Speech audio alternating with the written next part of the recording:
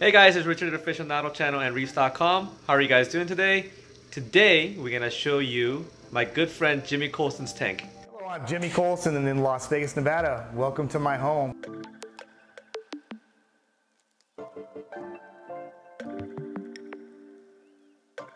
This is my uh, 1100 gallon total system. It's a 600 gallon reef, SPS dominant, 500 gallon sump, and the room next to it is my quarantines, protein skimmer, calcium reactor, so on and so forth. Wait a minute, you're absolutely right. This is an old video. Here is the updated version of the tank now. On my other video, I showed you all the specs, dimensions of this tank, as well as all the equipments. And I will leave that link here in the description below. Be sure to check that out about this tank. For this one, I'm just gonna show you all the progression and everything that's in this tank now. Enjoy.